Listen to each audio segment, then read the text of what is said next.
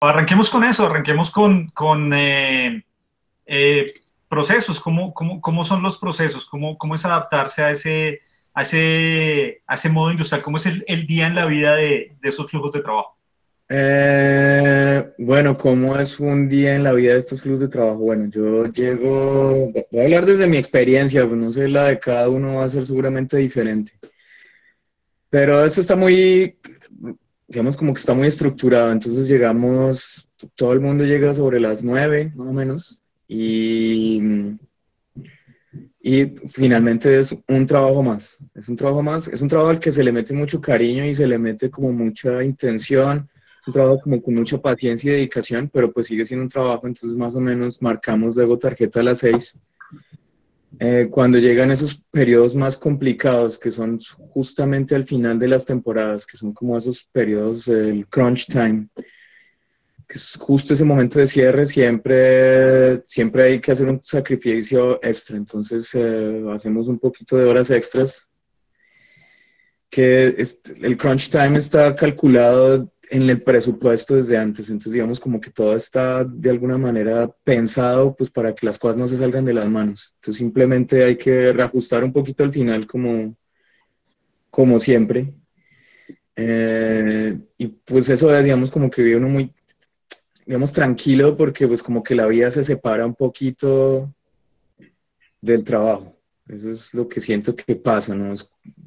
A diferencia como cuando uno está haciendo como el trabajo independiente, siento que se le mezcla uno mucho a veces. De todas maneras, sí es un trabajo muy dedicado, entonces estamos ahí pegados eh, pues, todo el tiempo, es lo que hablaba antes de, que se acaba. Terminamos la temporada nosotros de Rica Morty, les cuento de paso. La terminamos hace un ratico, ya la terminamos el 20 de... Bueno, nosotros, nosotros, cuando digo nosotros es eh, el equipo de animación terminamos el, hace un mes, más o menos, hace un mes. ¿Cuánta gente y, cómo está eh, armado ese equipo de, de, animación, como para conocer con, con quiénes trabajas y cómo ese, ese, ese... Bueno, hay una, hay una gran cabeza que es eh, Nathan, Nathan List, que es, eh, que es el, el, supervisor de animación, el director de animación, y él tiene como sus manos derechas que somos nosotros los leads, yo soy uno de esos, somos cuatro. Y debajo de nosotros está, bueno, no quiero decir debajo, suena muy feo eso, digamos como que en, otra rama está, están todo el, está el equipo de animación. Y tenemos otro equipo, tenemos otro par de equipos, tenemos el equipo de efectos especiales y comp, que están, eh, ellos trabajan en un solo equipo. Y tenemos el equipo de Bills, que son como que todos los que hacen los personajes, y tenemos aparte el equipo de backgrounds. Eh, entonces, al final uno digamos como que Ah, bueno, y tenemos un editor in-house, nosotros también para editar sobre todo lo que es la edición de los animatics o parte de los animatics. Y además eh, se hacen las predicciones, se hacen los cortes con toda la animación que va quedando lista. Y eso es. En Los Ángeles ellos tienen otro par de equipos. Tienen eh, un equipo de los, tienen el equipo de retakes, que son los que hacen como ajustes sobre todo porque bueno, Rick Morty tiene alguna parte de, reescritura cuando ya los capítulos incluso ya están listos. Es como que reescriben un par de cositas, ellos tienen como su propio equipo reparando esas cosas y por supuesto tienen todo el equipo de preproducción, entonces tienen todos los escritores allá en Los Ángeles. Y bueno, en, postproducción tienen toda la música, también la hacen desde allá. Eso más o menos es un poco lo que sucede es lo que sucede, pero eh, ya hablando un poquito de eso, ¿cómo, cómo, cómo es ese tránsito? Entonces, eh, efectivamente ahí está como la, el, el, centro creativo en Los Ángeles, hay unos millones, ¿qué es lo que llega al estudio? ¿Cómo, cómo, cómo se administra la información? ¿Cuáles son las millones?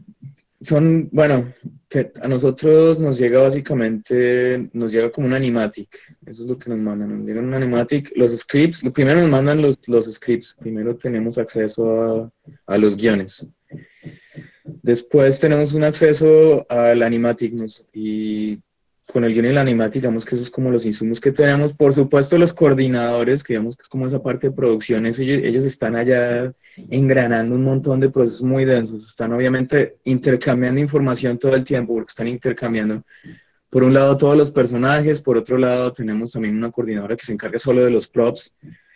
eh, hay una coordinadora que se encarga de, de solo las cosas, de los, de los backgrounds. Entonces, como que están haciendo ahí como un intercambio de, de material, pues tanto de archivos como a veces solo son listas de cosas.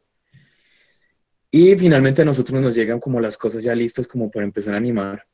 Eh, entonces, primero se hace, bueno, nuestra, nuestra tarea un poco con el director de animaciones. Eh, tenemos que hacer una revisión muy, como muy dedicada al animatic y al guion que tenemos, como para pillar que no haya nada que se nos pueda salir de las manos eventualmente.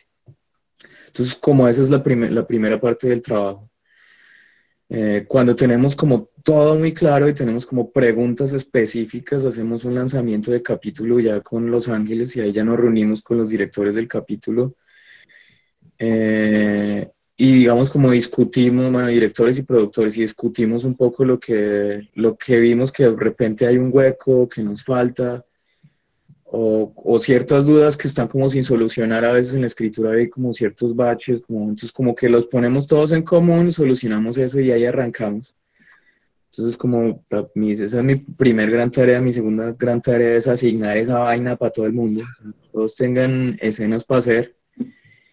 Y por supuesto ese es un trabajo que hacemos ya, que es un trabajo digamos que ya que podemos hacer bastante bien ahora, pero es un trabajo que nos ha costado tiempo de conocer el equipo. Entonces, digamos como que ya tenemos un equipo que sabemos cuáles son sus fortalezas y cuáles son sus debilidades, así que sabemos más o menos asignarle qué y a quién. Tenemos como, voy a decir como, no voy a decir que tenemos un ranking de animadores, pero sí tenemos como ciertas categorías entre nuestros animadores que sabemos como a esta persona le va muy bien haciendo esto. Nosotros obviamente, además de, de pensar que las escenas queden bien, tenemos que también entender que estamos moviendo números. Esto es la gran industria en Canadá. Aquí hay que mover números, aquí hay que ir para adelante siempre. Entonces, por supuesto, también nos tenemos que, que balancear siempre con alguien que además de bueno sea rápido. Y en esos términos de, justo de, velocidad, porque pues esa es como la gran, eh, la gran dificultad, ¿no? Porque, porque a veces eh, hay gente que es muy talentosa, muy buena, está, está, está lindo y demás, pero el tema de la velocidad termina jugando en contra porque hay que responder unos tiempos. Eh, ¿cómo, serían más o menos o, un ejemplo o un parámetro para, para, hacernos una idea de, de lo que implican las, las velocidades y, y, los tiempos de entrega que se, que se miden ahí?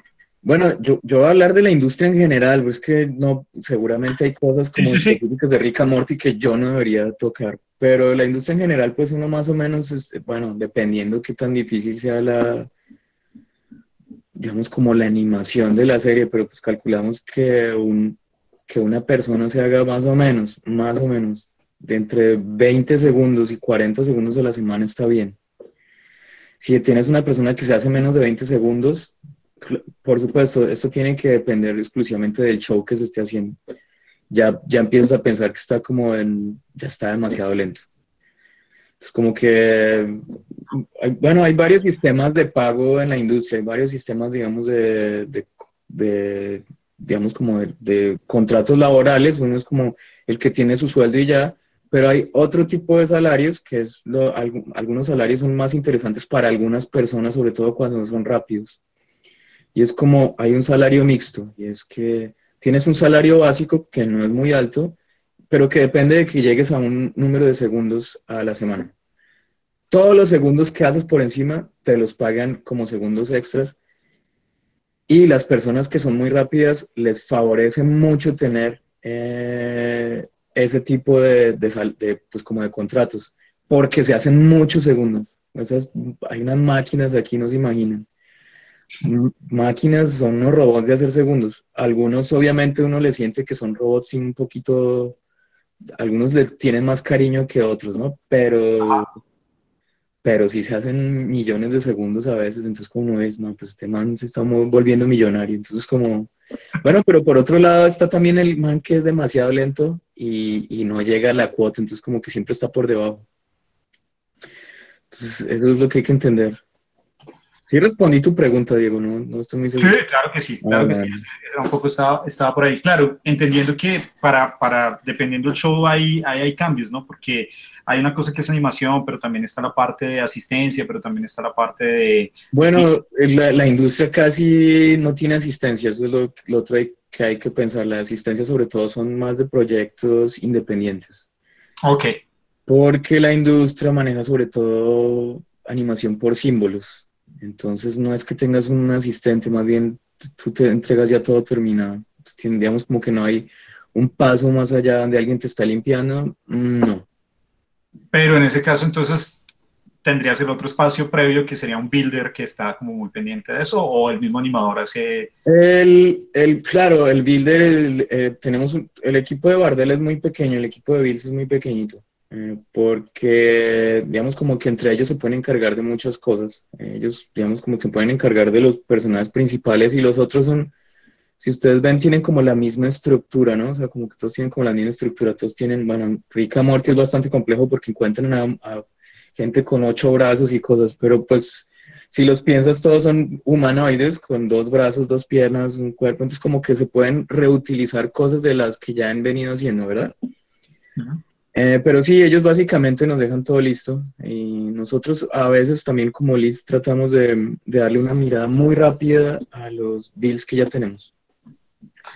Y ahí como para hacer llamados previos y cuando ya hemos como revisado un poquito, incluso mandamos como una lista de cosas para decirles, bueno, eh, antes de que empiecen el, el capítulo tengan en cuenta estas cosas, porque de repente tenemos un problema en este personaje, como que ese tipo de, de, cosas también nos ayudan a que la vaina fluya más adelante. Esto siempre tiene que pensar, sobre todo aquí en la industria, tiene que pensarse es que vaya para adelante. Bueno, y en esa medida que creo que, creo que uno podría eh, hacerse una idea a partir de lo que has dicho, pero parafraseando a Sergio Leone, ¿qué sería en el trabajo de lead lo bueno, lo malo y lo feo?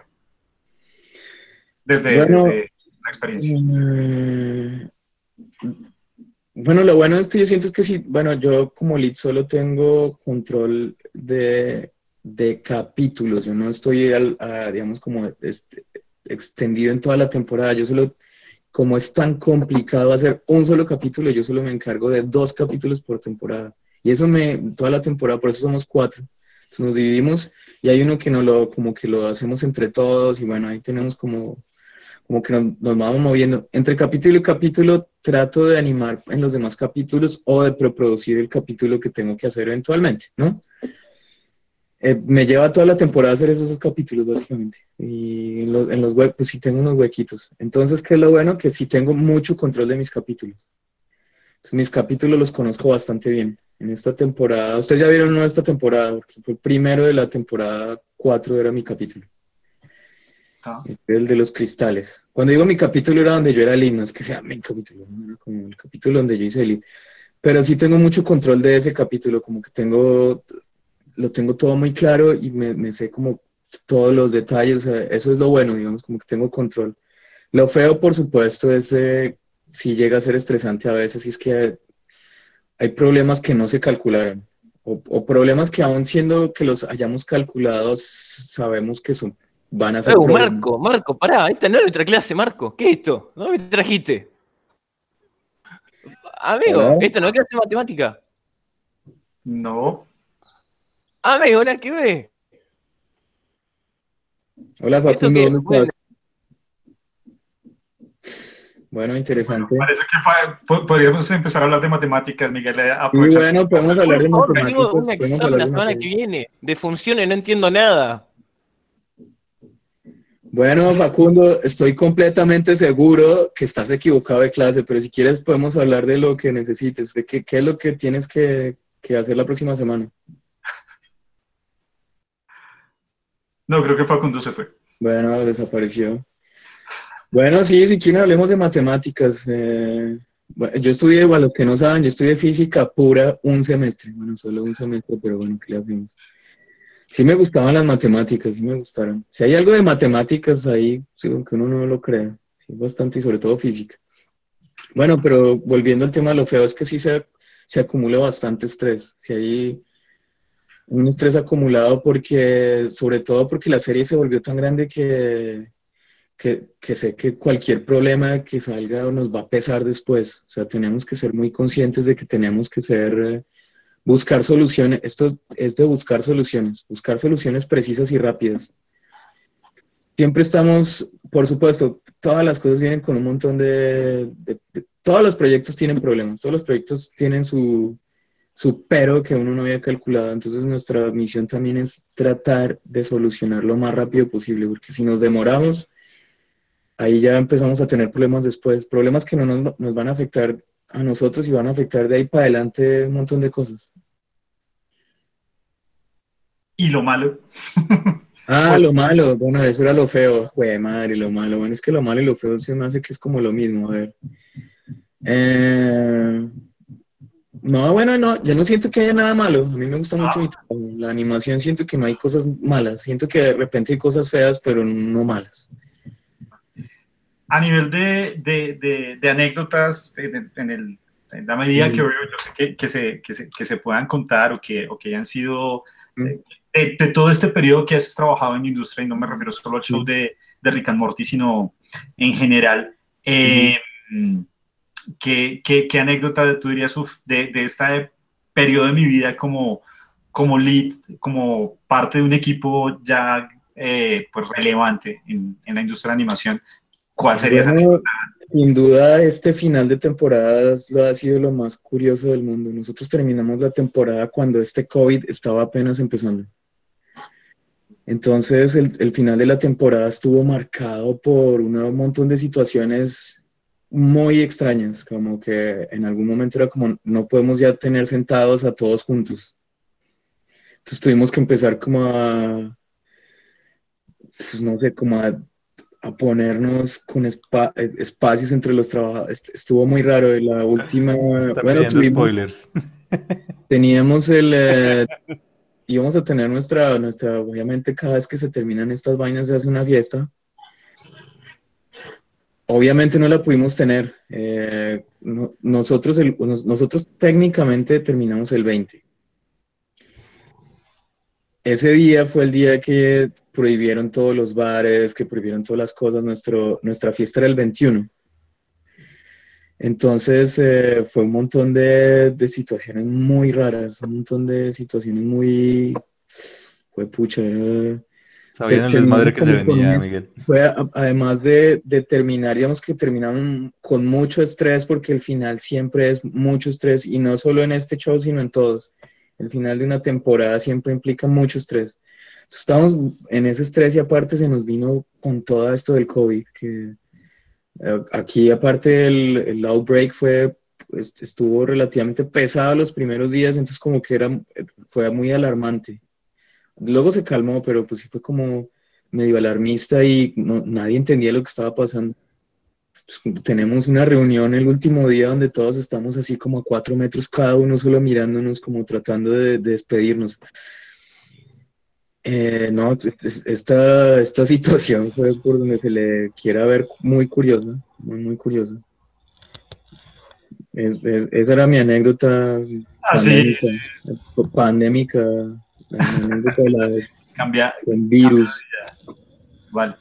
Bueno, y ahora miremos un poquito el, el, el, el otro lado de, de, la historia. O sea, ya como, no sé si lo quieres coger por los comparativos o lo quieras coger por, eh, por, por, lo que ya es eh, el, asunto independiente, el, remarla por, por fuera. Y no me refiero también no, no, tenemos que hablar exactamente de, de crónicas, sino que yo sé que también ha habido cosas de cómic, también ha habido cosas en, en otro. ¿cómo, ¿Cómo, se combina eso con el, con el trabajo de animación?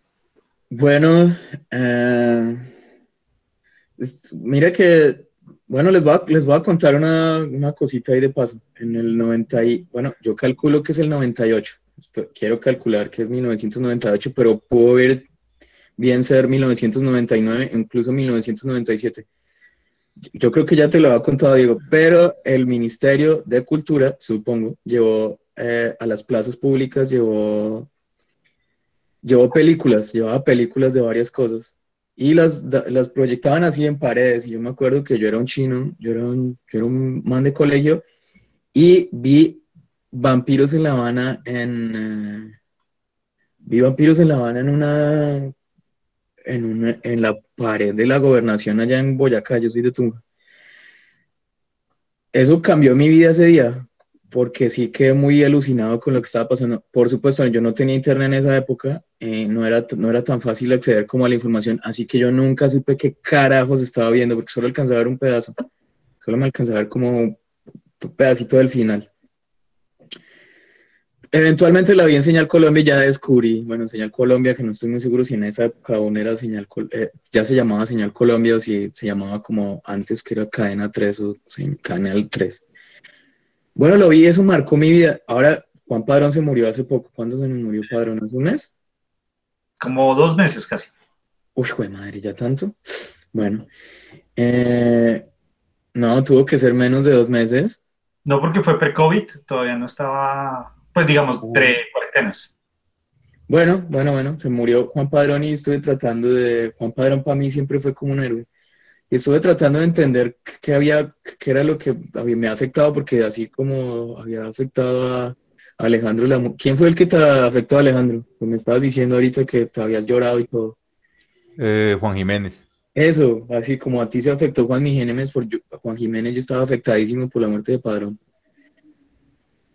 estaba tratando de entender qué era lo que, lo, que había afectado en, en Padrón en mi vida y finalmente entendí que esto de la animación tiene que ver con la vocación. Yo me sentí casi como... Yo no sé si han escuchado cuando los curas, ¿no? o las, bueno, las, los curas o las monjas supongo también, como que recibía Jesús es mío, bueno, no sé, a Dios supongo. Bueno, yo también sentí como que, bueno, la animación también tiene que ser recibida con una manera similar, sin llegar al, fanatismo religioso, pero sí siento que tiene que ver con una vocación. Por lo mismo, creo que sí empieza a afectar como uno lo toma también como un modelo o como un modo de vida y por, supuesto eso se repliega en todo lo que uno hace. Entonces, por eso es que finalmente los amigos de uno terminan siendo animadores. Eh, cuando uno no está trabajando, sigue haciendo animación o trata de pasar a otras ramitas que están muy de la mano, como el cómic, la ilustración, el diseño. Siempre tiene uno, por lo general, siempre tiene uno un proyecto debajo de la manga. Siempre tiene un proyecto listo para disparar. Como que siempre tiene algo en la mano. Y eso es lo que me ha pasado a mí. Siento. Entonces, como que siempre he estado muy pendiente de, de estar como activo, como Miren que, bueno, justamente les, cuento a propósito, yo estoy técnicamente en vacaciones, digo técnicamente porque no he parado de trabajar.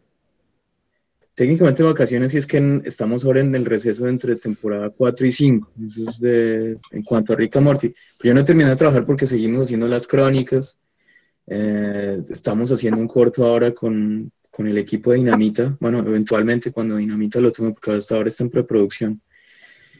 Eh, he estado como haciendo mil vainas, entonces como que siento que esto nunca para, finalmente como que uno se mete tanto en esto que uno sigue dándole, que es un poco lo que digo que no pasa con el asunto de la industria, es que finalmente la industria sí tiene como una limitante muy importante, y es que una cosa es el trabajo y una cosa es lo que uno hace en la casa. O sea, como... Mientras que ya como en la animación, cuando uno se vuelve más como de lo independiente, uno no para porque finalmente se le mete a una tanto esto en la vida que es imposible, o sea, como finalmente uno cuando se quiere ir a dormir tiene aquí una voz ahí que toda mal le está hablando como diciéndole vainas como, oiga, usted no terminó de hacer esa vaina, que, ¿sabe? Como que siempre está ahí algo pendiente, o sea, hay como un eco siempre que las voces, la culpa de eso, sí, bueno, siempre hay algo como que uno le dice como que hay que terminar, o, o más bien siempre tiene uno una idea y por, por ahí volando y de repente como que le viene a la cabeza, o sea, siempre siempre hay algo ahí engranándose. finalmente esto se termina metiendo en todo uno. Y bueno, ahí, ahí hagámosle, hagámosle, el mismo, pongámosle el mismo termómetro a, a hacer producción independiente, a hacer proyectos independientes, a, estar un poquito al margen de, de, del, proceso comercial, sabiendo que igual lo independiente también necesita dinero para, para ejecutarse, porque, porque a veces como que está esa, esa, esa, idea de, ah, no, es que eso es independiente, entonces eso no, no, no, no es dinero.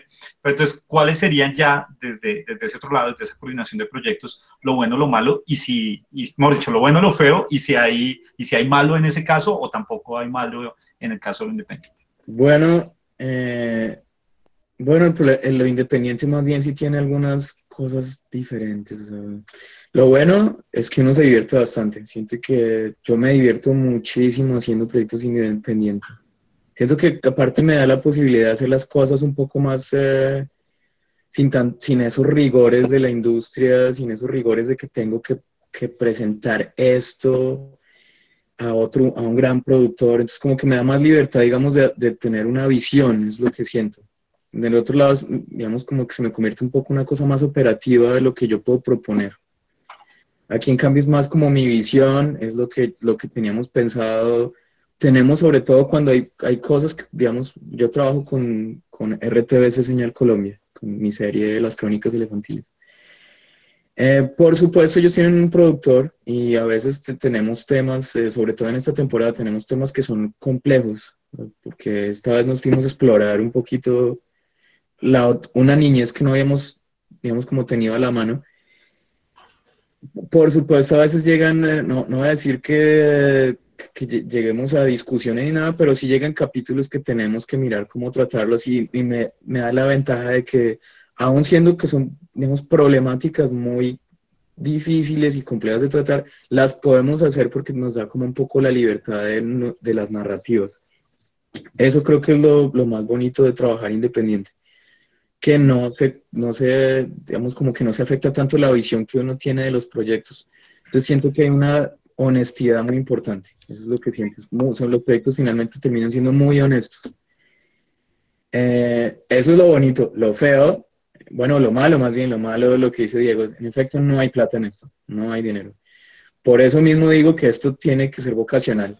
Lo que es lo que yo veo, es lo, de lo que estaba tratando de entender ese día que se murió Padrón. Esto tiene que ser medio que vocacional porque, bueno, les cuento otra anécdota un poco ahí saliéndome del tema. Me reuní estos días porque miren que est- esto está más común esto de hablar por eh, las te- telellamadas y bueno.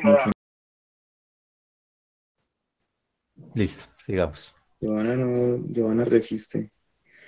Eh, bueno, pasa que, bueno, me vi con unos amigos eh, de, del colegio y mis amigos, bueno, ojalá que esto no lo vean ellos, porque quién sabe qué pensar. Ellos son abogados, pues.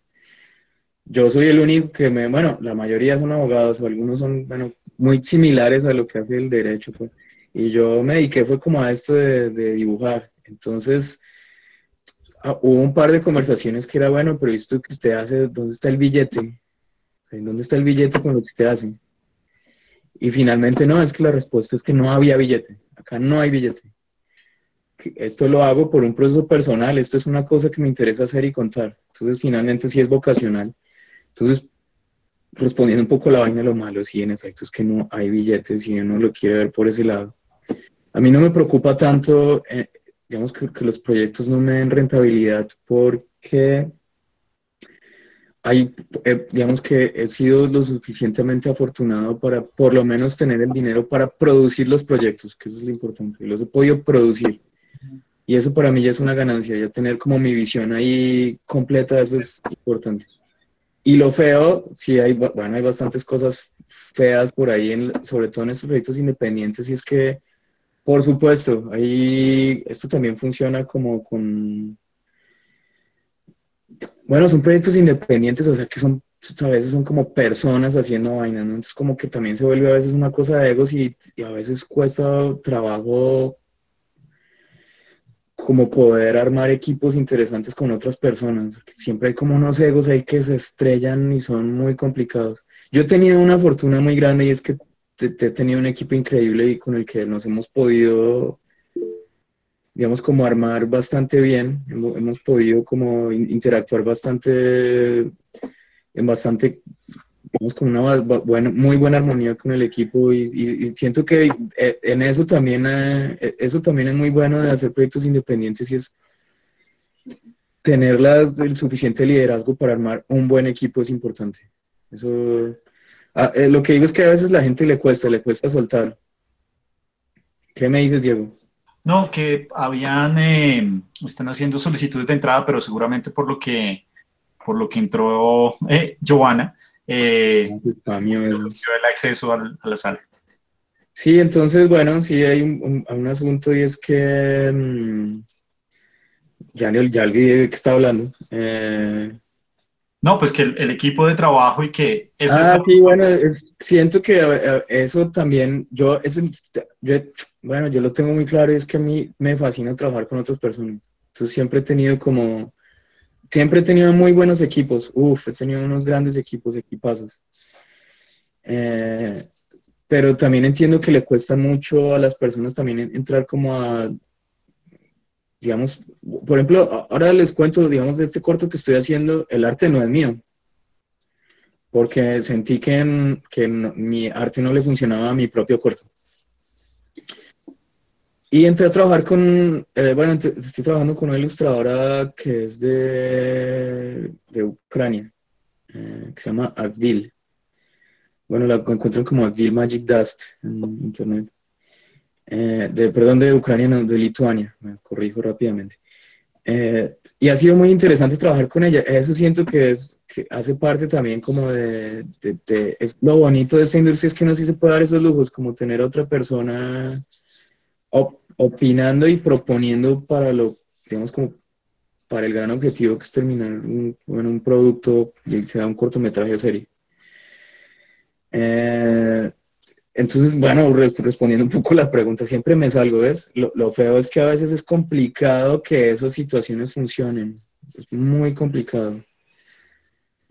Sobre todo no es, sobre todo en Colombia, es un poquito también que alguien quiere hacer todo, quiere animar, quiere también quiere animar, hacer el arte, quiere hacer la edición y quiere, quiere hacer hasta la música, las voces, quiere hacer todo. Eso no es que sea feo, no es que esté mal, pero sí tiende a, problematizar a veces un poco los proyectos y terminan siendo como una visión muy personal que a veces es difícil de ver.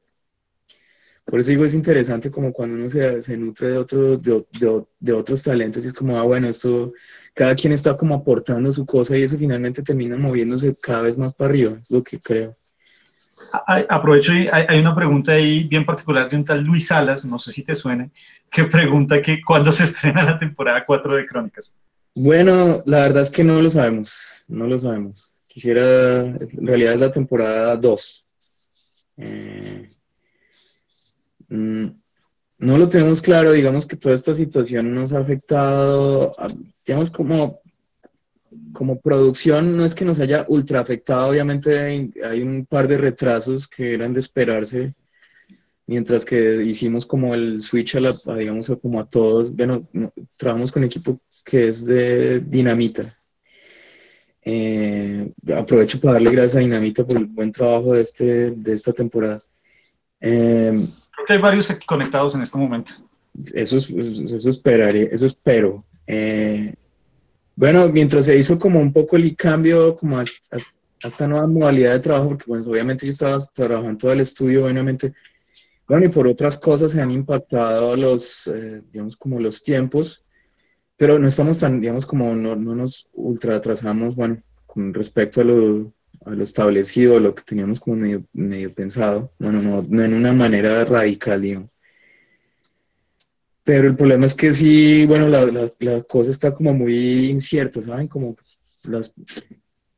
Bueno, no sabemos bien qué vaya a pasar, la verdad. Entonces tenemos que, apenas hagamos la última entrega, ya nos tendremos que sentar un poco a, a mirar cuándo podríamos hacerle el estreno con señal.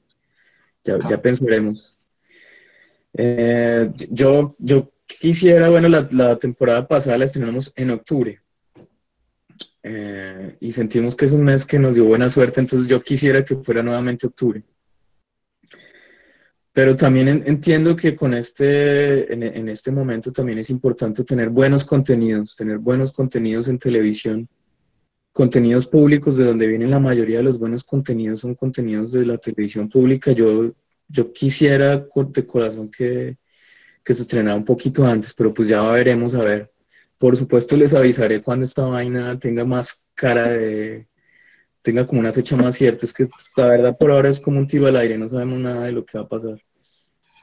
Miguel, ahorita que estabas hablando de, de, los contenidos y creo que conectando con, con, una idea que quedó un poquito abierta eh, cuando hablabas de, de, ciertas temáticas y ciertas eh, contenidos de, de, esta temporada en particular sobre las historias de los niños que, que pudieran llegar a ser un poquito eh, no fáciles de manejar con, con, con, la producción que había desde Señal Colombia, pues un poco contar un poquito sobre eso, qué, qué, qué encontraste, cuáles son esas experiencias de un proyecto de animación que pues, digamos sigue estando en, en, ese marco de proyecto de animación, pero que adicionalmente pues implica un contacto con la gente, un contacto con unas eh, historias de vida de, de, unos chiquillos que pues que tienen diferentes circunstancias, un poco para, para esta temporada que, que, que no hemos visto, qué que, que, ocurrió y cuáles son esas cosas que, que se articulan a los procesos de animación. Bueno, claro, primero, no es que tengamos opiniones encontradas con Señal. Señal también ha sido, yo realmente eh, hemos tenido un trabajo que yo siento ha sido hasta ahora, digamos, como intachable con señal y es que ellos han estado muy de la mano con nosotros y entienden un poco la visión. Con ellos más bien es lo que es discutir hasta cómo podemos tratar los temas. Eh, ahora, ¿A qué me refería con eso? Eh, la temporada pasada estuvimos muy como centrados en Bogotá, porque realmente son cosas de presupuesto. Porque obviamente tenemos que ir a entrevistar a los niños, es difícil digamos, como toda esta situación de ir a viajar a otro lugar, mandar un equipo a otro lugar, esos son un montón de gastos que por los presupuestos que tenemos son, es complicado hacer. Entonces esta vez tratamos de, de, invertirle un poquito más a ese asunto, tener un poco más de presupuesto para viajar. Y pudimos tener acceso un poquito, digamos, más amplio en el territorio colombiano por ahora. Entonces ya, alcanzamos a ir a, entrevistamos a unos niños en Cali que es ellos son, bueno, desplazados por la violencia de Tumaco. Eh, bueno, le, momento del tema y es como, finalmente terminamos trabajando con tantas instituciones a las cuales les estoy muy agradecido, que las mismas instituciones empezaron a ayudarnos y era como, bueno, ustedes como que están buscando, vea, pillen, hablen con esta otra institución y así hemos ido abarcando un montón de instituciones increíbles con las que estamos muy agradecidos. Desde casas culturales, desde fundaciones son más pequeñas y fundaciones como sin ánimo de lucro mucho más pequeñas, como instituciones casi, a, veces es, un grupo pequeño, a veces es una o dos personas tratando de hacer una biblioteca en, en un pueblo de Boyacá. Entonces como que movilizarnos, digamos como que se abrió tanto la red y la gente empezó a querer un poco el proyecto desde todas partes que obviamente nos han abierto mucho las puertas las mismas instituciones. Entonces hemos tenido esta temporada que viene, les comento, obviamente hay bastantes niños de Bogotá porque pues, somos, digamos, como que nuestro centro está en Bogotá, digamos, como la base central de operaciones está en Bogotá y en Tabio, pero tenemos otros niños de otros lados, tenemos, tenemos varios niños de Villavicencia, eh, tenemos niños de Cali, eh, tenemos niños de Boyacá esta vez también, entonces como que logramos como, digamos, como mostrar una diversidad un poco, digamos, más amplia. Tenemos una, tenemos unos capítulos buenísimos sobre, hicimos, alcanzamos a hacer tres capítulos sobre unos niños que aún, bueno, pertenecen bien, son muiscas pues, son muiscas de la, del Cabildo Muisca de Bosa y de Cabildo Muisca de Suba. De Suba de no, ya, ya no me acuerdo bien. Entonces como que pudimos acceder a, muchas otras realidades que son súper interesantes, súper interesantes. Nosotros hacemos de todas maneras, digamos que el contenido también es infantil, así que no nos interesa mostrar a veces cuando las realidades son muy complejas, a nosotros nos interesa mostrar sus historias. A veces se, digamos como que quedan, se entienden un poco los contextos por lo que cuentan los niños, pero nunca fue nuestra intención como digamos, en el caso de, de, los niños que, con los que trabajamos en el Tumaco, nuestra intención nunca fue, y en la entrevista nunca se toca hablar sobre la violencia, sobre su desplazamiento, sobre sus procesos. Queremos ver es cómo es la nueva realidad de ellos y eso de alguna manera me cuenta lo que pasó antes con ellos. Pero digamos como que tratamos de, evitar también como ir allá a apoyarles algo que para ellos ha sido tan tan complicado. Entonces, como que tratamos de, bueno, no, cuéntanos tus historias, qué es lo que te gusta, bueno.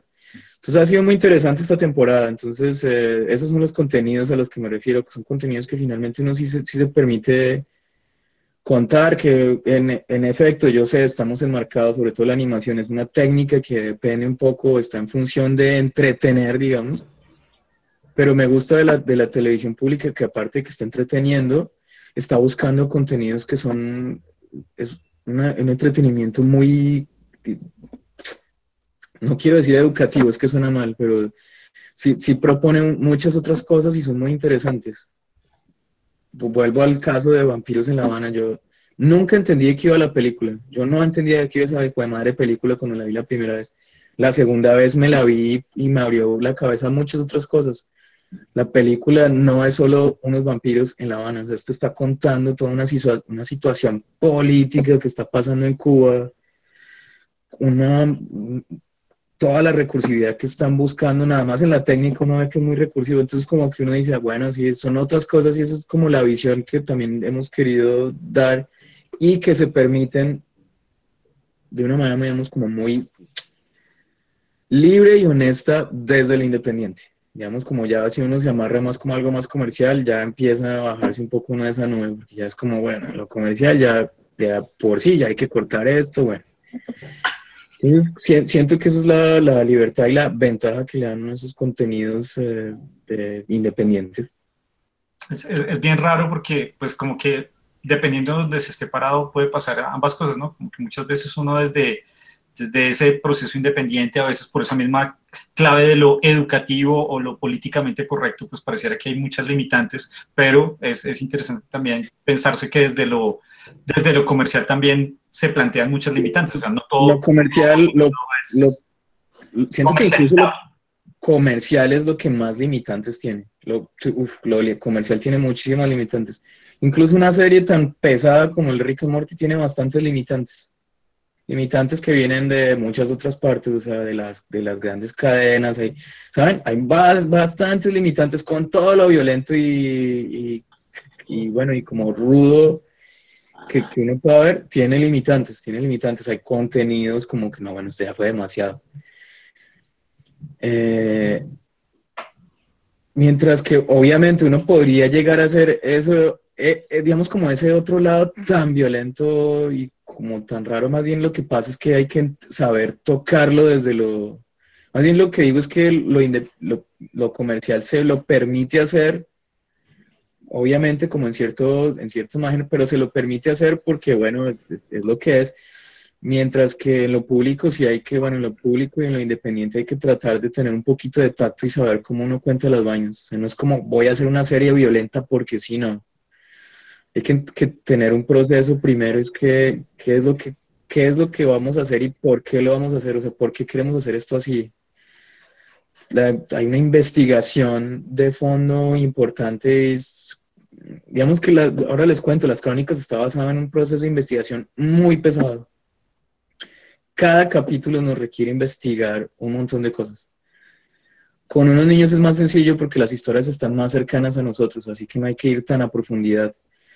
Con otros capítulos nos tocó, o sea, nos tocó investigar hasta ver qué cosas sí podemos contar y ni siquiera porque el contenido fuera a salir, sino porque esos contenidos son parte de las comunidades, esos contenidos son parte de las instituciones, tenemos que saber que a ellos, si a ellos les afecta que nosotros contemos esas cosas, si ellos quieren que esas cosas sean contadas, siempre tenemos que estar de la mano y muchas veces ni siquiera las cosas que, hay varias cosas que no salieron esta temporada precisamente por, no porque hayamos encontrado, ojo, que no estoy diciendo como que encontramos obstáculos con las comunidades, sino que a ellos más bien es como, no, es un tema que preferimos que quede entre nosotros.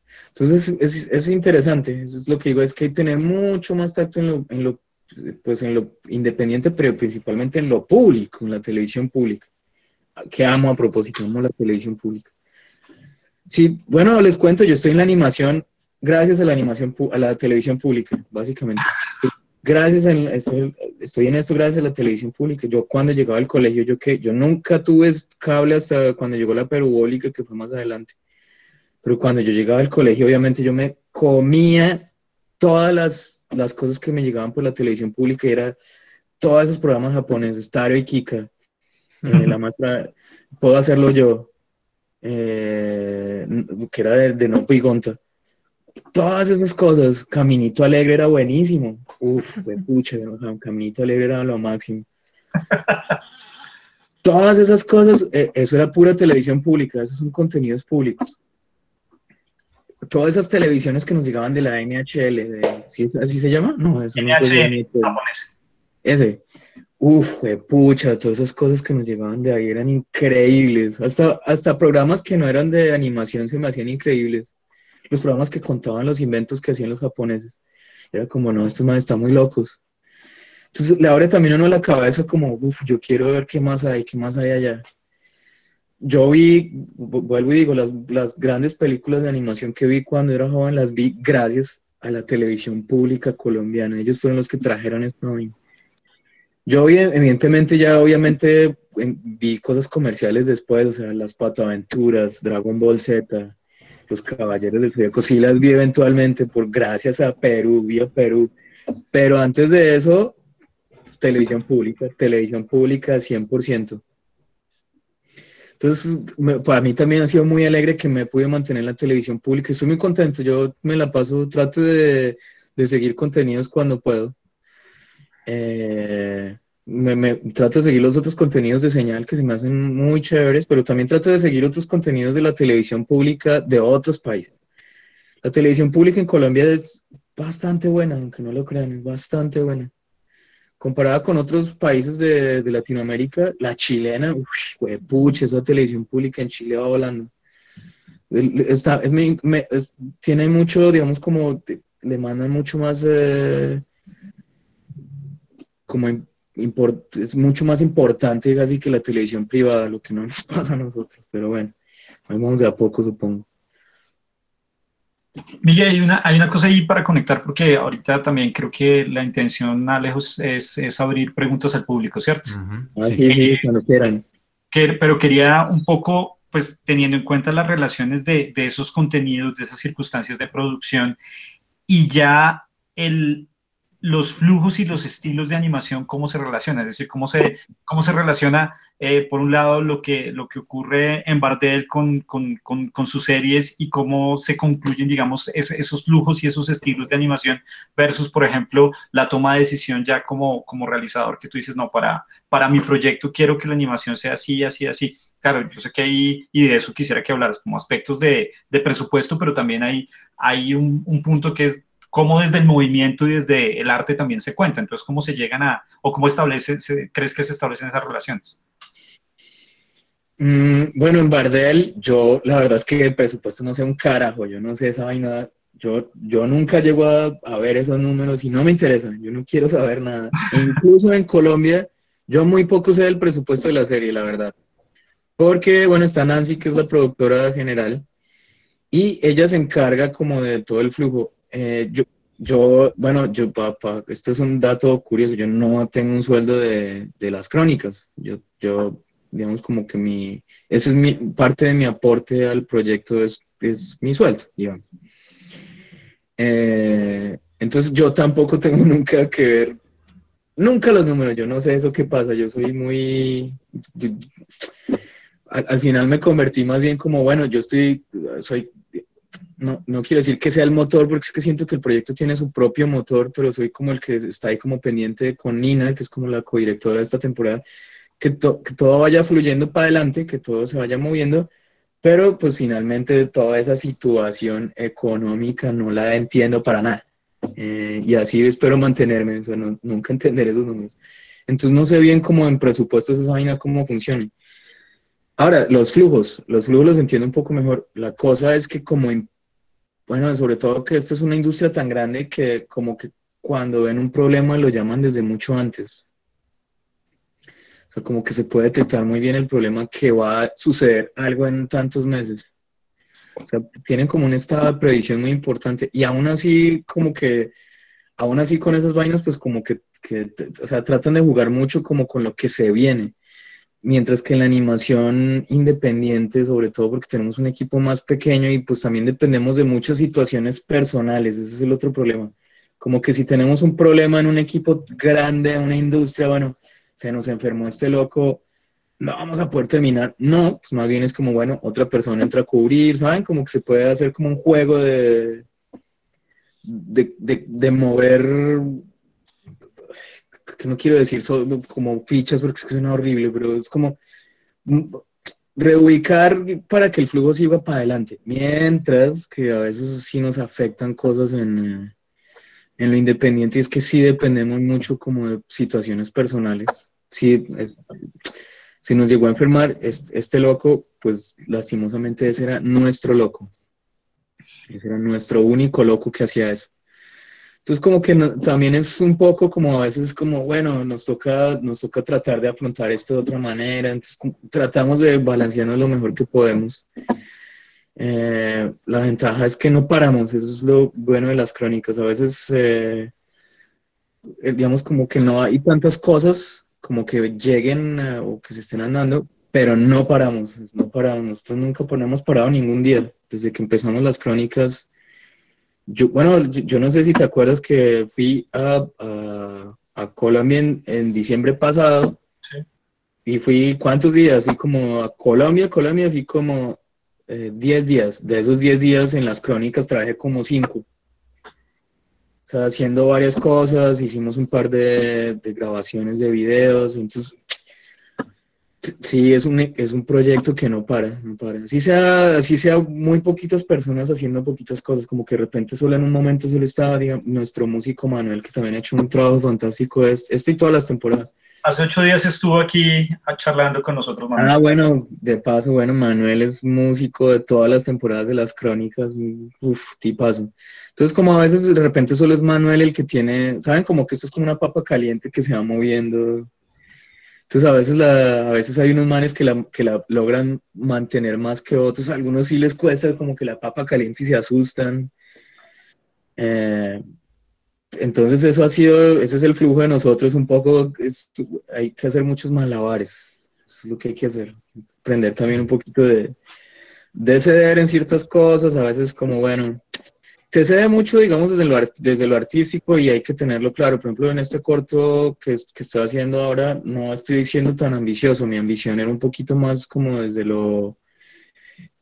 Es un corto muy sutil, entonces como que no quería que, obviamente, entonces como que redujimos, eh, redujimos, así se dice, reducimos. Bueno, se redujo, se redujo el... Eh, como la, la, cantidad como de, de, espacios donde los personajes están y tratamos de ser como lo más concretos como para que fuera un, un corto además de, de, es sencillo y es, es, es, lograble, eso es lo que estamos, esa es la apuesta, que los cortos sean logrables. Por supuesto uno puede tener la ambición en la luna, pero pues si el corto no es lograble ahí se le queda. Ahí ya tienen a difunto Richard Williams, casi 40 años terminando la película. Que no terminó. Ahí está eso, la terminan terminando a uno por allá en otro país y bien fea. Entonces es lo que digo, es como, bueno, hay que también tener como la, bueno, mirando para arriba pero con los pies en la tierra, eso es un poco lo, lo, que hay que tratar de hacer, apuntando para arriba pero con pies en la tierra. Y lo mismo nos toca con las crónicas, a veces como, por más que queremos hacer algún, hay unos capítulos que obviamente son unos capitulazos que tenemos en la cabeza, pero ya sabemos que en producción, bueno, son nos va a matar eso. Entonces, bueno, ya no podemos tener esto, entonces ya nos toca tener esto más barato. Hay un par de capítulos que son también para compensar un poco el presupuesto de algunos, algunos por alguna razón, por, eh, por las técnicas o por lo que hicimos, de repente se nos fue un poquito más caro, nos toca para, digamos, como balancearlo con otro capítulo, entonces a otro capítulo no le podemos meter tanto presupuesto, entonces nos toca hacer no digo que no tenga cariño, pero sí nos toca ser como más recursivos. Es como, bueno, resolvámoslo con estas cosas muy sencillas. Un personaje, la historia, esta historia creo que la podemos hacer muy sencilla, es, a hacerla como un espacio más reducido. Bueno, nos toca ir como ir barajando todo el tiempo, incluso desde el arte, a veces también desde el arte era como, no, necesitamos el personaje más sencillo para esto. Necesitamos el casi que ni se, como palito. Es como que también está bueno y es que me pone como, uff, ya sé a quién podemos llamar. Porque si se dan cuenta, todos los capítulos tienen un ilustrador invitado. Como el, todo el arte es diferente, entonces como que a veces, uff, este arte es muy bonito y es muy sencillo y es muy animable. Entonces ahí es cuando volvemos, esto es bastante lograble, entonces nos tenemos que ir a ese lado. A veces uno pues, también nos pasa que creemos que es lograble y luego cuando lo estamos haciendo es, ay, jue madre, ¿en qué nos metimos? Pero bueno, ha sido, ha sido todo un experimento que, que, ha estado muy bien. Perfecto. Bueno, yo pensaría que sería eh, pertinente en este momento pasar a ver si de pronto hay gente del público que quiera hacerle preguntas a Miguel. Bueno, pregunten, pregunten a ver. Bueno, ustedes también pueden preguntar, ¿no? No es como que... Miguel, digamos que en el caso, por ejemplo, tenemos en este, en este momento estudiantes que están en, empezando su proyecto de corto personal de, grado. Y, están en un proceso de revisiones y están en un proceso, digamos que de construcción de todo lo que sería como esta, esta fundamentación de la producción, pensando en que de aquí a final de año sea manejable. ¿Qué les aconsejarías en términos prácticos, digamos, eh, frente a lo que es la producción, o sea, decir, qué deberían priorizar, cuál es como su lógica, porque un poco funciona como un corto independiente, de otra manera estarían pensándose como un corto independiente. Por ejemplo, ahorita que estamos en una situación como esta, ¿cómo trabajar, por ejemplo, para conseguir gente para la parte de sonido o, cómo resolver ese tipo de cosas mientras, digamos, que se puede llegar a una salida eh, eh, a estudios o a buscar recursos, digamos que aparte? Bueno, tengo una pregunta, tengo una contrapregunta y es como, ¿ellos están haciendo el corto solos o tienen otras personas? Dijiste como el músico, pero como el resto. Pues depende de ellos montar el proceso. Digamos que ellos son los líderes del proyecto, pero ellos pueden obviamente eh, vincular a, gente adicional en el caso que lo requieran, pero ellos tienen que fungir como directores en un momento determinado. Pero pues ya dependería también de, ellos como... Bueno, depende mucho, siento que bueno, en gran medida depende también con qué equipo cuenten pero sin duda siento que, bueno, esto hasta ahora nos ha funcionado fantástico y es que tenemos una, tenemos una hoja de cálculo donde nos dice exactamente todo. Tenemos como una, una, pequeña hoja de cálculo que es como nuestra base de producción y es donde está es exactamente a quiénes necesitamos, qué es lo que hay que hacer, cuántas personas. Eh, tenemos también como el cálculo, bueno, esto puede llegar a demorarse tanto tiempo tenemos eso, ahí dicen como una especie de tracker. Esto, es previo incluso al tracker. Tenemos también otro que es solo para hacer el, el tracking de las cosas. Y incluso, bueno, tenemos un, track, un, track, un tracker como general, pero también hay un tracker específico de solo de animación y tenemos incluso hasta un tracker específico.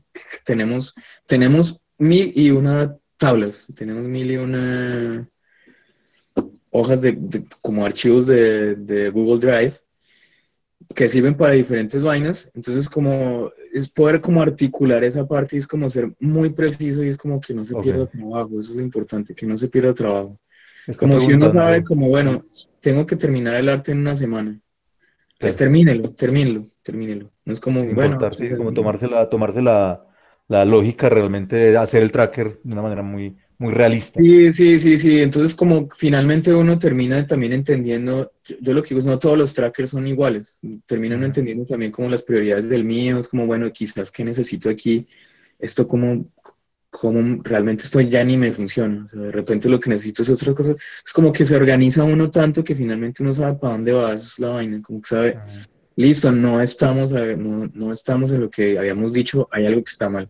Y eso le permite a uno también reorganizar, porque obviamente siempre van a haber problemas y es que siempre se salen cosas de las manos. Por las razones que sean y sobre todo en esto independiente. Se le, se le otra ola de esta maricada y bueno, se cierra la universidad y ¿qué hacen? Otra vez, ¿saben? Como otra vez engranar y es como tiempo que uno no había considerado que iba a perder. Entonces, como bueno, listo, con esto en cuenta es cómo vuelvo a reorganizar desde adelante, o sea, más adelante para que esto siga lo que decías, si eventualmente, bueno, para que esto salga como debe ser, voy a necesitar poner una persona. No hay manera de saberlo hasta que uno no tiene eso como puesto en alguna vaina. Claro. Pregunta Ronnie Torres, ah, ¿cómo, lead, ¿cómo harías para que un animador que no produce tanta cantidad, pero sí calidad, pueda aumentar su cuota? Eh, tengo que, ahí lo que hay que hacer es eh, balancear, balancear. Yo lo que hago es como, bueno, si yo, sé que es muy bueno, o sea, son haces que son importantes y yo sé que es muy bueno y bueno, sé que esta persona es una, es un, como un ítem importante en nuestra producción, lo que trato es de balancearlo es como, bueno, cojas esta que sé que la va a hacer bonita y la va a hacer con cariño y agarre este par de camera moves, agarre este par de cosas donde no pasa nada que sé que le va a dar también segundos. Entonces trato de balancear Si es un man que no le mete tanto cariño a las cosas, pero pues como que es muy rápido, pues le mando toda la mano de la, la, la cosa como aburrida. Pues no sé, pues, público, para audiencias, cosas de esas. Muchos personajes como que no, no están como tan en primer plano. Entonces tiene uno que empezar como también a hacer, es como, bueno, listo, como también hay ciertas precisiones, bueno, le voy a tirar a este un poquito de una escena, una escena en la que el man pueda disfrutar y tener cariñito y un par de escenas que sé que le ayuden a que su cuota no esté tan baja.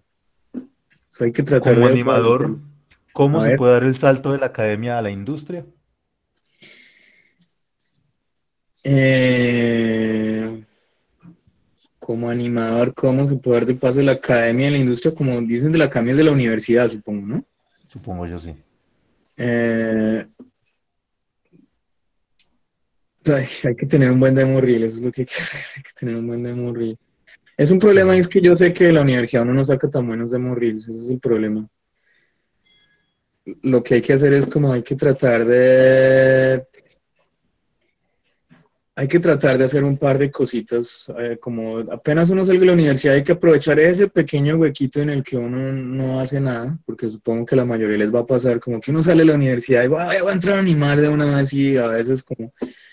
Bueno, en Colombia lo que pasa es que sí, sí hay algunas empresas que sí lo contratan uno recién saliendo, pero pues como que finalmente lo, digamos como que no tienen a veces tanto rigor con los proyectos, o son proyectos como que se vuelven ahí como, todavía tienen como esa calidad todavía muy estudiantil, entonces como que finalmente uno después de, una, de haber trabajado tampoco tiene un buen reel. Entonces lo que hay que tratar de hacer es armar cosas para reel, eso es lo que yo digo, armense unas buenas cosas para reel. Aquí lo que se mira es eso, el reel. Uno mira el reel y es como, ah, este bueno, ya.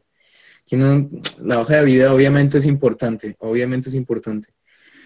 Pero aquí lo que se mira es el reel. El reel, por eso cuando dicté clases en la tarde yo les decía, muchachos, es que el problema es que ustedes tienen un grado hay otras personas que no tienen un grado, pero sí tienen un reel. Entonces tienen que también tratar de trabajar con tantas ganas para que ese reel quede bien. Perfecto. ¿Cómo es pensada la estética que manejara el mundo y los personajes que sea acorde al guion? Ay, a ver, no entiendo la pregunta. ¿Cómo? Yo creo que va un poco es cómo decides que la estética para un guion. O sea, ¿cómo tomas en cuenta, qué Bueno. tomas en cuenta para eso? Bueno, lo primero es, bueno, del guion está y finalmente yo creo que el guion le empieza a uno a hablar, ese es el, el punto. Cuando el guion no le dice a uno nada es porque algo le falta a alguien todavía. Eso es lo que, eso es lo que, creo que podría responder la vaina. Si el guion está como que uno no sabe qué personajes tiene que meterle, es porque a alguien le falta. Como, bueno, pero que no sé, no sé qué personaje debería meterle aquí, como el personaje debería ser así o así. Si, si uno todavía está dudando mucho, sí, entonces siento más bien que a alguien le falta un poquito cuando ya llega a- al punto que está tan sólido, el mismo guion le empieza uno a decir vaina y es como, no, es que aquí necesita, no necesita tantas cosas, no necesita tantas cosas, necesita un arte como más sutil, como más tranquilo. Es como una cosa como, puede ser una estética más así, es como que uno empieza como a medio descubrir. Ya. Eh, y, y, pues finalmente al, al final sí, se, sí, sin duda alguna hay como un poco de subjetividad, al fin esto no es ultra, ultra objetivo, pero siento que uno tiene que dejar que el, bueno, esto suena muy metafísico, pero tiene que dejar que el guion uno le proponga también. Es como que un poco también por las crónicas, a veces son unos guiones muy sencillos, o sea, como las historias, si se dan cuenta las crónicas son las historias son muy sencillas, son de un minuto todas y son basadas en como en experiencias de ellos, entonces como que al final uno sabe como a esta experiencia le vendría muy bien un arte como este de esta persona. Uno le ve cosas afines. Bueno, las dos últimas preguntitas. Una, ¿crees que el COVID-19 está afectando ahora el medio de la animación en el mundo? ¿O qué, a qué futuro afectará este medio de forma positiva o negativa para las personas que se dedican a, a la animación? Bueno, es si- siento, bueno, la cosa es que todavía sí, hay una incertidumbre acerca del tema, esa es una de las vainas. No por nuestra industria propia, sino por las demás industrias que dependían de nosotros. Como la industria del entretenimiento, eso, yo no sé a ellos cómo les está yendo bien o mal, no, lo, no sé cómo hacer el siguiente. Sin embargo, sin embargo, yo siento que sí puede darse un espacio muy importante a la animación. Lo estaba pensando porque, bueno, ahora le estaba, le estaba contando antes de que empezáramos esta charla y es que eh, las empresas, digamos, como las disqueras y todo eso, no pueden hacer en este momento videoclips. No pueden hacer eh, videoclips en imagen real porque no pueden grabar. Los equipos de grabación, como son tantos y están tan encerrados, ahorita va a haber un momento en que ellos no pueden grabar. Así que la animación se convierte en una opción muy interesante, muy interesante para... Yo siento que esto que esto puede ser, no voy a decir que un auge de post-COVID de la animación, pero sí siento que va a haber unas oportunidades que hay que aprender a leer, hay que aprender. Ahora, hay otra cosa ahí es que importante, es que todo el mundo está haciendo de todo. Y como finalmente la televisión que uno conocía en vivo, ahora se parece a esto que estamos haciendo. esta es la televisión en vivo, de, esta es la nueva televisión en vivo, de alguna manera. Entonces, estos nuevos espacios, digamos como este con la televisión, a como esta gente haciendo música en vivo, también puede que nos llegue a afectar y es como seguramente va a haber una tendencia que las cosas tienen que ser mucho más recursivas. Entonces, uy, todavía siento que es un panorama que va a ser muy complicado de leer por ahora. Perfecto. Yo siento que hay que aprovechar, si ven una oportunidad, aprovechen, eso es lo que hay que hacer. Aquí pregunta eh, respecto al proyecto de las crónicas elefantiles, como pensando en la postparticipación de la comunidad, ¿cómo las personas pueden seguir participando en la construcción de memoria a través de la animación? Animen, bueno, hay que animar, hay que animar, eso es lo que hay que hacer, pero bueno, un poco con, esto de las, de las eh, crónicas y lo que estamos tratando de hacer, por supuesto ahorita no es que estemos como tratando de hacer un capítulo sobre el COVID, no, porque bueno, nuestra, nuestra producción era previa a toda esta situación, pero por supuesto de aquí en adelante, cualquier cosa que se haga de aquí en adelante, yo siento, y sobre todo desde lo público, siento que de alguna manera va a ser documental. ¿Documental en qué sentido? Va a ser, no me refiero a que es, es un contenido que es documental, pero que va a estar completamente afectado por lo que nos está pasando. Porque finalmente en algún momento se va a ver, bueno, pero yo quiero ver que, ¿saben? Así como cuando uno puede ver, esa es la otra mirada, ¿no? Cuando uno ve como todo lo que pasó después de, de las guerras, como todo ese arte de posguerra. Como que uno puede leer, ah, el arte de posguerra atiende un poco a todo lo que les pasó antes, por eso uno como que entiende de dónde salieron las cosas sin necesidad de que sean de la guerra, o sea, que sean cosas que toquen la guerra. Entonces lo que digo es que finalmente hay que seguir, seguir haciendo cosas y es como tratemos de contar estos tiempos. Perfecto. Evidentemente nos vamos a tirar con las crónicas, no completamente, pero sí haremos un par de capítulos, como siempre. Nosotros no quisiéramos tocar el tema del COVID, pero sí queremos tocar las nuevas realidades y cómo fueron afectadas por esto. Claro. La última bueno, no piense la última, yo, estoy más ¿Qué aconsejarías a alguien que quiere continuar su estudio como animador 2D en Canadá al salir de la universidad? ¿Pero que quiere salir a estudiar en Canadá o que quiere salir a trabajar a Canadá? Es continuar su estudio. Estudiar en Canadá. Bueno, yo, bueno, es que yo fui muy suertudo y es que hubo una época, bueno, yo, yo fui creo que el primer Call Futuro que lo utilizó para estudiar animación en, un, técnico. Eh, BFS es una escuela técnica, eso es lo que es BFS, donde salí yo. Después salió mucho más gente para hacerlo, pero finalmente ya lo quitaron porque pues yo no, sé si por los resultados o bueno, no, sé por qué. Pero la cosa es que sí, madre, la verdad es que estudiar afuera es muy costoso, pero vale la pena, vale la pena. Es lo que yo le digo a todos. Si quieres estudiar afuera, hágalo, vale la pena Vale la pena no solo por la, por la educación que uno está recibiendo, sino por la experiencia de entender otras cosas y otras gentes de otros lugares. Pero mientras eso pasa, y aparte lo siento si no soy tan esperanzador porque no sé cómo vaya a estar la situación después de todo esto, y no sé si salir a estudiar vaya a ser tan sencillo. Mm. Eh, todas las cosas, bueno, pues suena un poco raro, pero toda la información está en Internet, qué cosas. Todo está en Internet. Busquen, eso es lo que hay que buscar, o sea, interesarse es estar interesado, estar interesado en algo mientras tanto. De tal manera cuando ya se vayan a estudiar ya tienen varios intereses, tienen como, ah, bueno, esto me interesaba mucho y cuando ya lleguen, es que siento que también les pasa mucho cuando llegan a estudiar aquí como a Canadá, es que la gente no tiene ideas todavía. Eso, eso me pasó y era que yo, digamos, cuando yo entré a BBF, yo ya tenía algunas ideas en mente. Yo ya había hecho un par de cortometrajes. Obviamente, empíricos y sin saber un carajo, pero ya había hecho un par. Mientras que aquí de repente llegan y es como, no, no tengo ninguna idea, como, ¿qué va a hacer? No sé.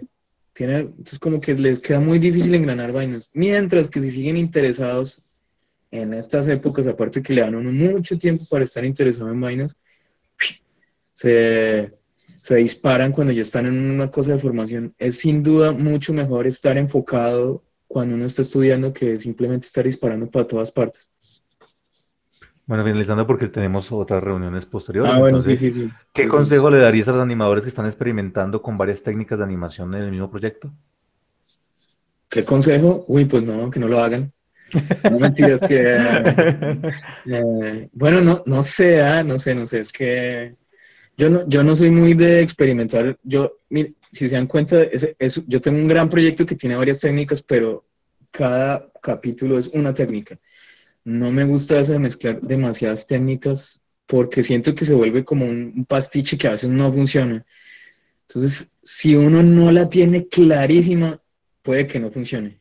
O sea, tiene uno que tener la, la, certeza de que ese pastiche que uno está haciendo es armónico y funciona. Pero mientras uno no lo tenga muy claro y si solo uno está, el problema, si uno solo está experimentando, va a terminar siendo eso un experimento y no siempre eso es lo que uno quería. Claro. Como que tratar de, aparte porque hay unas cosas que uno, bueno, listo, yo manejo súper bien el 3D, pero el 2D me da fatal. Entonces va a haber un 3D impecable y un D terrible. Entonces como que queda el corto cojo, queda cojísimo. Ah, perfecto. Bueno, Miguel, muchas, bueno, muchas gracias. muchas gracias. Muchas, muchas gracias, Miguel. A- a- Eh, esperamos haber contigo más adelante. Espero que a todos haya sido muy, muy edificante. Fue muy valioso tu, tu, tu conversación, tu aporte. Sí, per- perdón, esta vez solo fue hablando, solo fue hablando. no-